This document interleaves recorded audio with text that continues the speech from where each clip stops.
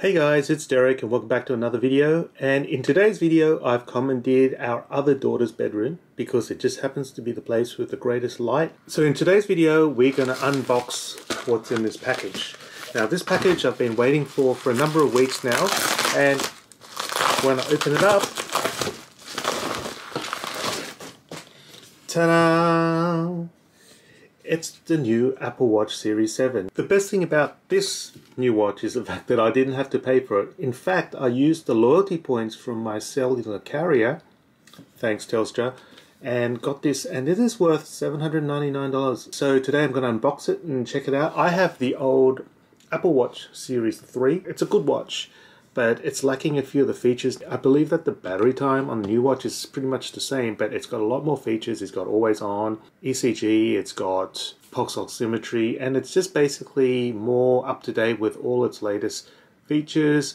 So this is the cute little package it comes in, and you just open that, just open that, and two things slide out. So there's the package there this is the watch band and I got the stainless steel Starlight actually it's called Starlight aluminium case with a Starlight sports band. So that's the sports band and that is my new watch. So I got the 45 millimeter. There's a 41-ish millimeter one, which is smaller. I have fairly big wrists and I like a big chunky watch, so that's why I got the biggest one. And this one also comes with cellular function. So basically I'm already paying, I think it's $5 a month for cellular access on this watch. And you can tell because it's got the red thing on the crown. And basically what that means is that you still have access to the internet when you're not near your iPhone. Whether that's an important feature, I probably, if I had to pay for this new watch, I probably wouldn't get it and I'd just get the Wi-Fi only one. But the fact that it came free and there was actually no choice to get it without cellular, the number of times that I can remember that I needed to do any of this stuff without my iPhone has probably been approximately zero times. So it doesn't really bother me that much, but the fact that it's there, it's there, and that's a good thing. Just like if I was to buy an iPad, I wouldn't get it with the cellular version because it does cost extra, and I think it's a unnecessary expense for my particular situation. But as I said, this one was free, so let's just get on with the unboxing. And now it's starting to rain outside.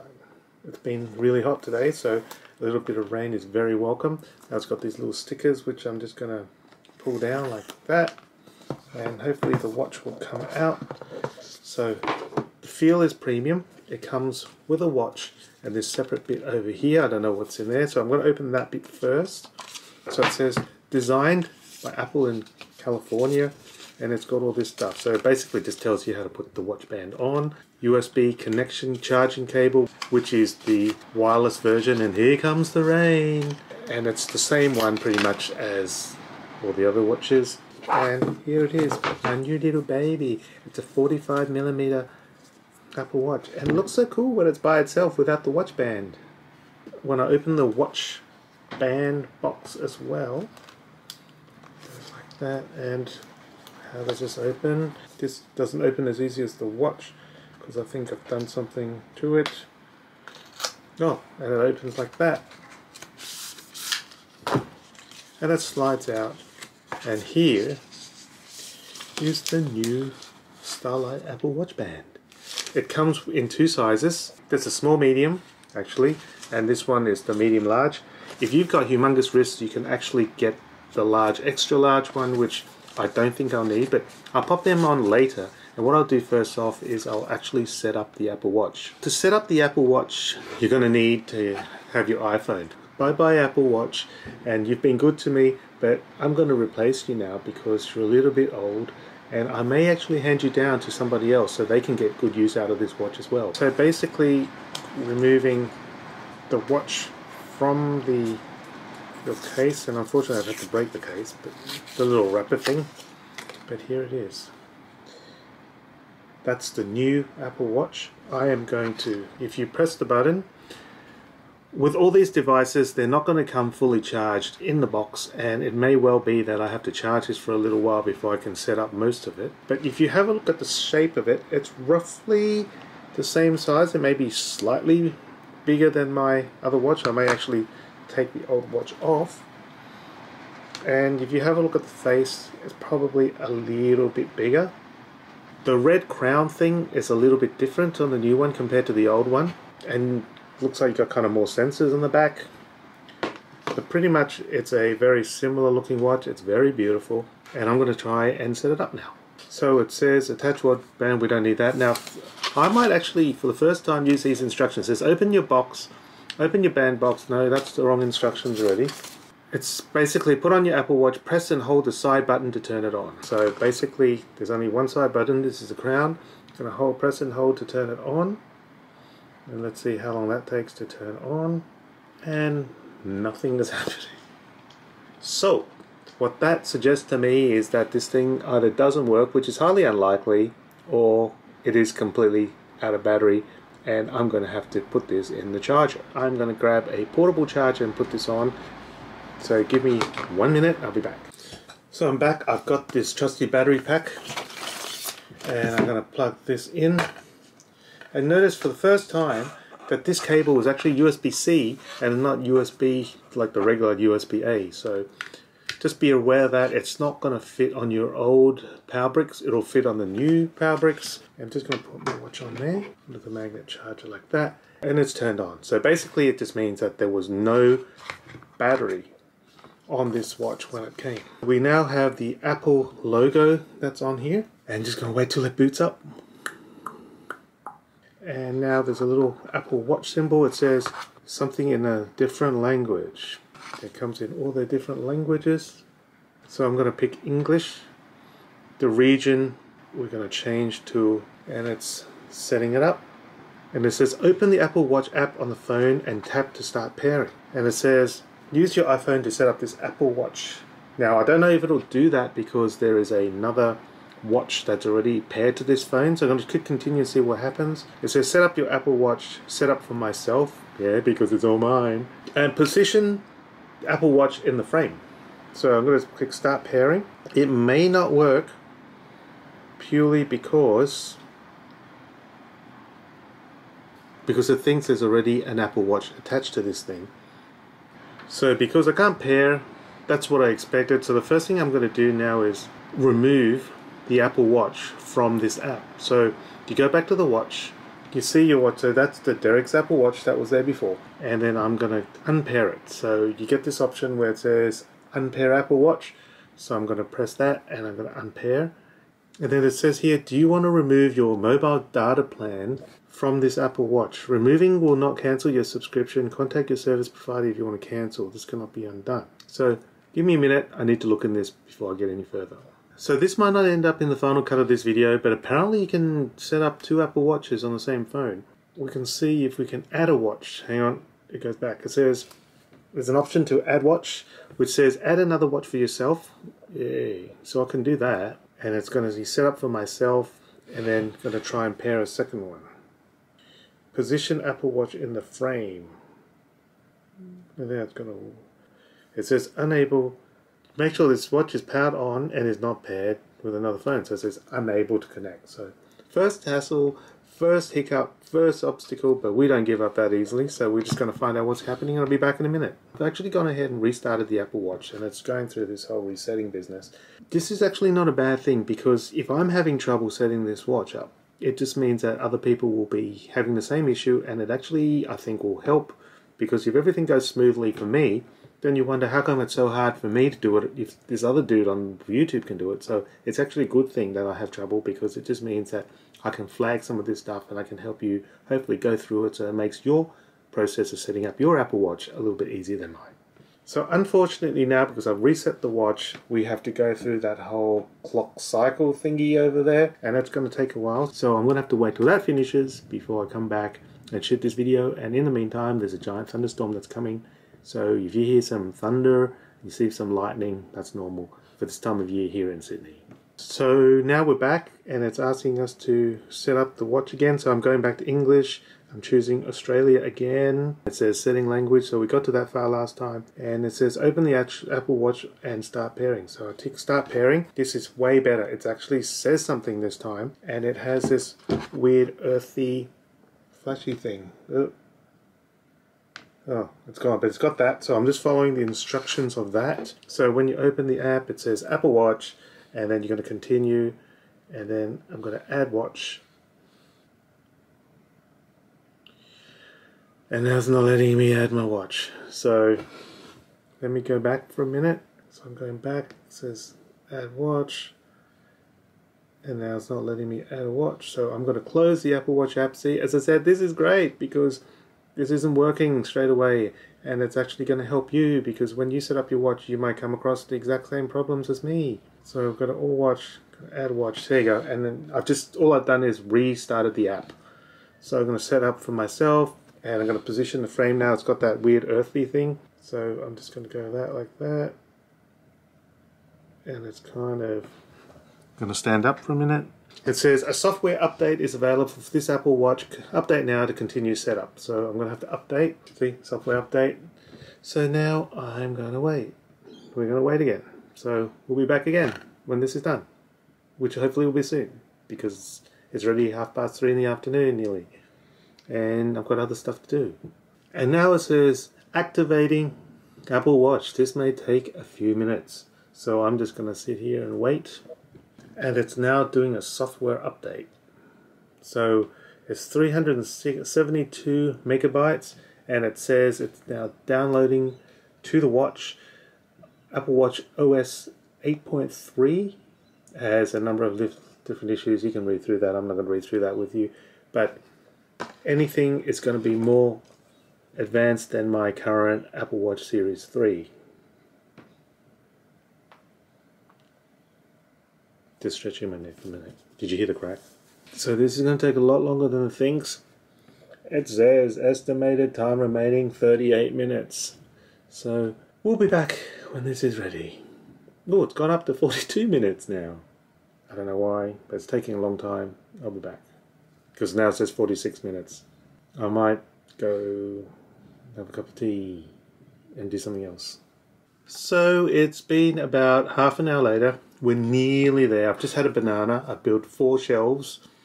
It's still preparing, but it's nearly at the end. So whilst we're waiting, I just want to invite you to like and comment on this video and subscribe to my channel if you like my content. It's still going. So the preparation is done. Now it has to install. So that's going to be another 2,000 hours. Hopefully not fingers crossed, not going to be 2,000 hours. I'm agreeing to the terms and conditions. Is now verifying, more like terrifying if it's going to be another hour before this goes any further. This could be the longest YouTube video of all time if it takes that long to start installing this update. And we're not getting very far with this video yet, are we? Good news, it's an hour and 10 minutes pretty much since we started the installation and we're back to the setup page where we can choose our language and our watch, where we live, which is again, Australia haven't moved the last two times. They asked me this question today and now it says start pairing. What is going on with this situation? Now it says your Apple Watch is paired. So let's not panic for a minute. I'm going to set up as a new Apple Watch. On which wrist do you wear your Apple Watch? On my left, Activating your Apple Watch. This may take a moment. I thought we activated it before. How long is a moment actually? Is it 3 seconds? Is it 30 seconds? Is it 1 hour? Sometimes when you're installing updates to your phone just before you go to work when it says it will update in a moment and it ends up taking 3 hours and then you don't get to use your phone for the first 2 hours of work when people need to get hold of you. So important lesson that I've learned is never update your phone just before you go out because it's never ready by the time you do go out. Anyway, that's just another service announcement. So, this moment, I'm having a moment waiting for this moment. Now, ladies and gentlemen, boys and girls, Houston, we have a problem. All of a sudden, my phone says unpairing Apple Watch. It's gone back to this screen. The watch has gone back to the where do you live thing again. And when I try and add a watch and says set up for myself, it's going to ask to repair and start again and now the watch isn't letting me start again so what on earth is happening right now so I'm now going to have to restore the watch back to factory default again So this is now an hour and 20 minutes into setting up this Apple Watch and this is kind of starting to suck a little bit. So here we go. I've reset it and then now it's starting again and this is starting to really bug me. I live in Australia for the fourth time. It says position Apple Watch start pairing. Getting ready to pair. This could take several minutes. Let's give it another whirl, shall we? Stand up because it makes all the difference if you stand up to this thing. And it says Okay, says software update is available. No chance I'm going to do that. Skip the update. Now it says your Apple Watch is paired. Set up as new Apple Watch. Continue wrist preference, which is left. I said that last time. And now it says connecting your Apple Watch. This may take a moment. I'm pretty close to not wanting to set up this Apple Watch right now. Let's see how long it gets stuck on that screen. It is currently 422 and I'll be back as soon as I can. Oh, oh, it's got to a new bit where it says you can sign in with your Apple ID. That's interesting. Haven't gotten this far so far in this video. And shared settings, okay. We are actually getting somewhere. I'm going to create a passcode, which is the passcode I'm about to enter now. You don't get to see that. Gonna cover it up. You don't get to see my passcode. Blood oxygen, we can enable and continue when it says keep your Apple Watch up to date. We'll continue, see what happens. Now it's stuck on that screen. Now Apple Pay will set up the Apple Pay later because I don't have my credit cards with me. When your watch is not connected, you can continue make and receive calls. To enable mode, add your to your existing iPhone mobile plan. We'll do that later. Always on display will continue. Install available apps will say install all with a grid view. Now Apple Watch is syncing. One thing I need to find out is I need to get rid of the Apple Watch plan with the old watch and set up with a new one so I don't get charged twice. So I need to figure that out. So after this horrendously long and boring setup with this watch, I'm going to customize it. I'm going to set up the watch face that I want. I'm going to set up Apple Pay. I'm going to set up the eSIM thingy, mess around with a little bit more. I want to check out the ECG app and the Pulse Ox app, which may not end up making in this video because I'm running out of memory on this SD card because it's taking so long and it may be on an additional video, we'll see. But the bottom line is, if you're having trouble setting up tech, you need to be patient. You can't get annoyed with stuff. Go away, and if you need to, come back in a little bit to try again because it's frustrating sitting here. Google is your friend when it comes to trying to find other people who've had the same problems. You can check out communities, forums, and just posts on people's blogs, etc which may give you answers as to why your setup is failing. Again, let me know in the comments below if you've had any trouble setting up your Apple Watch, especially when it's your second Apple Watch. And I'll look forward to posting another video soon and we'll just keep going here and see what happens. It's 4.35 and finally the watch has a watch face. Has a watch face. Woo! What we do now is I'm going to put on the watch bands. Give me a second. I'm just going to do it quickly because I'm running out of room on this SD card, so I'm not going to film it. So this is how the watch fits on my arm. I need to go to my Telstra logon and set up my one number thing. And basically I think it's allowing me to connect to a new Apple Watch by removing the other old Apple Watch and it looks like we should be okay to go when it says activating. Hopefully that's it for that and I'm going to go ahead and I'm going to set up the pulse oximetry and the ECGs and you have to install that apparently. So $5 a month, it's connected. So now you can set up your ECG on your Apple Watch. So I'm going to click setup. It's going to ask you a whole heap of information which I'll enter. And it tells you what the ECG thing can't detect, which we know all about it. So I'm going to follow the instructions. You're going to open the app on your watch and I'll be holding my finger on the crown now. And I'm in sinus rhythm. So go ahead and play with your Apple Watch, enjoy it, install some new apps, see how you go. I've run out of room on this SD card. I may make another video soon about some of the other features, but in the meantime, have fun. See you later. Bye.